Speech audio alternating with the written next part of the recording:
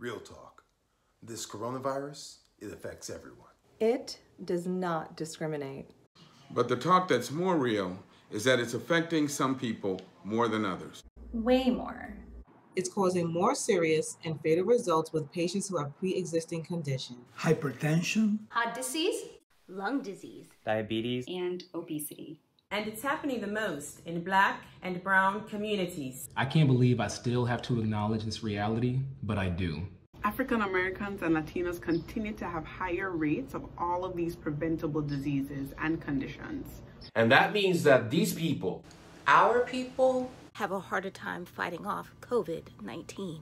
In New York City and other major metropolitan areas, African Americans and Latinos are dying at rates that don't match the general population data. But this isn't new. People of color have been getting sicker and dying sooner from chronic conditions long before COVID 19 appeared. And there are so many factors that can cause this access to health care, economic stressors, societal stressors, misinformation, and many more. But there's no greater determinant for our health than the foods we eat or don't eat. It is now time we focus on the most effective medicine for our health, our food.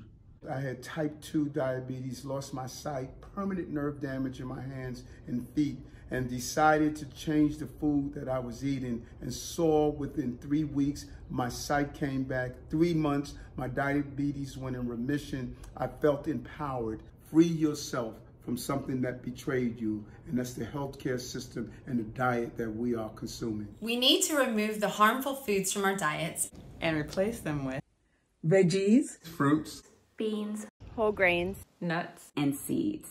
We can prevent, treat, and reverse our diet related conditions through the food we eat. Plant based nutrition changed my life. I know it can change yours too. Eat for your health. Aliméntese por sus hijos. 吃的健康就是孝顺父母.吃的健康就是孝顺父母。Essen Sie für die Frontarbeiter.